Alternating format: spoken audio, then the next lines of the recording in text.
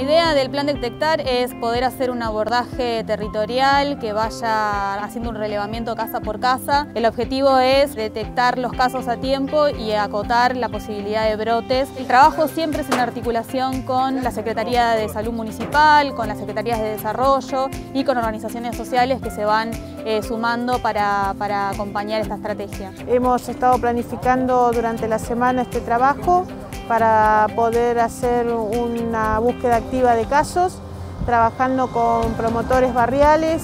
Ya hace un tiempo habíamos convocado y, se están formando a través de un curso que brinda la región sanitaria 11. En este momento han venido como voluntarios y están recorriendo las distintas manzanas de los dos barrios tratando de detectar casos posibles de coronavirus. Lo que hacemos es pasar casa por casa, charlar y en el caso de que se encuentren personas con síntomas compatibles con COVID, las acercamos acá al camión, que lo que hacen es primero tener una entrevista con un personal técnico en la que se determina si es necesario hacer el hisopado nasofaringeo para, para el diagnóstico de COVID.